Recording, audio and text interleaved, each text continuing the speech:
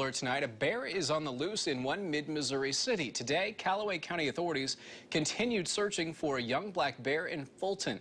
ABC 17's Lindsay Burning went to the area. It was last spotted today, and Lindsay officials say the bear is not dangerous as long as you don't approach it. Daniel, the Missouri Department of Conservation agent, tells me the young black bear is just as scared of people as we are of bears.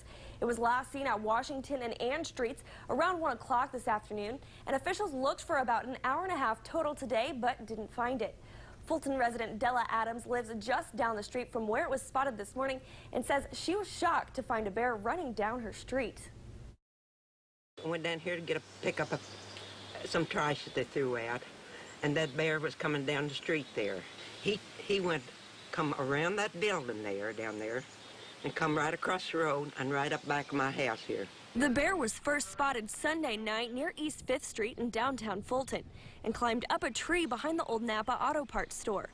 Fulton Animal Control shot the bear with a tranquilizer, but it got away and wasn't seen again until around 8 o'clock this morning in a wooded area near Ravine and Ann Streets, near Adam's house. Come down the road there, it scared me because I didn't know but that bear was as scared of me as I was of him. Missouri Department of Conservation agent Bob Lyons has been working with local authorities to try to capture the bear to take it out to the country, away from people and traffic.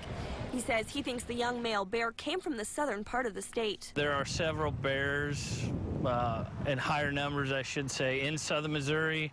Right now, the department is doing a study on the population of black bears in southern Missouri. The, the black bears actually filtered into Missouri from Arkansas. Lyons says black bear sightings are increasing in Missouri. He says especially this time of year when cubs are separating from the mother bears. The bear is not a danger to anyone unless you corner it or do something like that. It's, it's a normal um, wild animal. If you corner it, it's, it's going to go on the offensive. This bear is really scared of, of humans. Again, Lyons says if you see the bear, don't approach it or feed it. He also says it's a good idea to seal your trash so it doesn't become dependent on humans.